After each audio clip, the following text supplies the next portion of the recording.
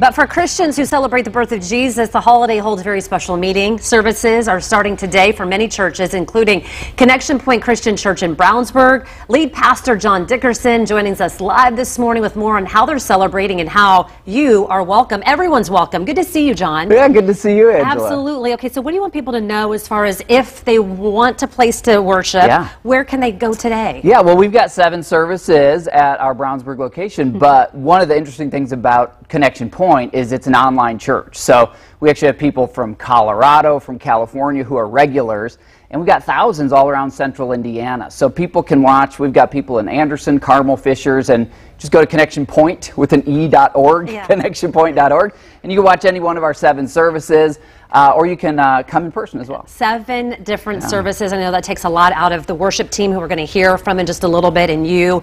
Um, it's so important, though, to talk about the reason for this season. What do you want people to know that maybe this will be the only time that they get to really think about um, their life and what Jesus means to them? Yeah, you know, it, it seems so simple, but this reminder that the word Christmas comes from a name, Jesus Christ. Now, I haven't always been a pastor. There was a time when I thought Christ was like Jesus' last name, like John Smith. Yeah. It turns out Christ is a title for the Messiah.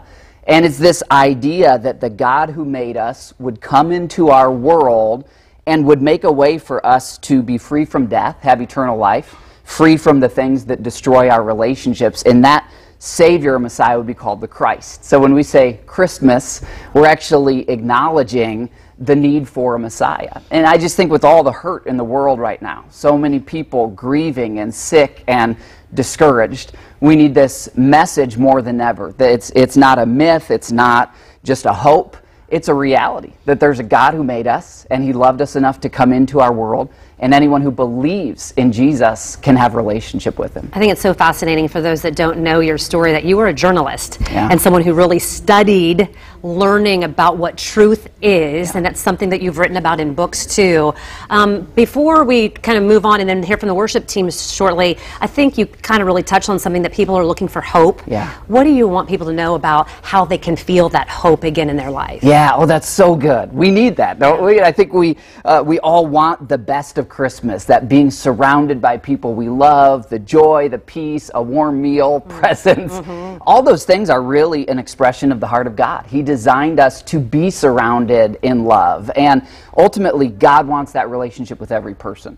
And one of the things I didn't know once I came to believe that there is a God is that we don't have to pay money, we don't have to do good deeds to get right with God. Uh, when Jesus came to earth, he did those things for us. So when we simply believe in him, uh, we get made right with God. And so that's, that's the source to joy. That's the bridge to the source of the universe where life and peace and hope all come from.